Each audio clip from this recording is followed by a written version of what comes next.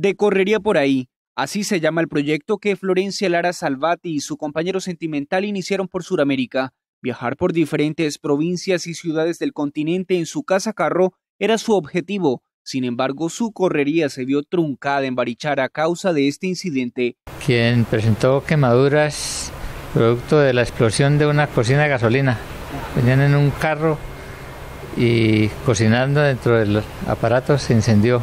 Los bomberos al llegar al lugar lograron controlar las llamas y conducir a la extranjera hasta un centro médico. Lograron controlar las llamas y sacar la señorita del carro. Fue llevada al hospital en un mototaxi por la situación de las quemaduras que sufrió en ese momento. Florencia Lara Salvati se encuentra ahora en la unidad de quemados del Hospital Universitario de Santander, en donde se ha comenzado su proceso de recuperación. Entonces presenta quemaduras del 20% de segundo y tercer grado, 20% de superficie corporal. Son quemaduras bastante severas.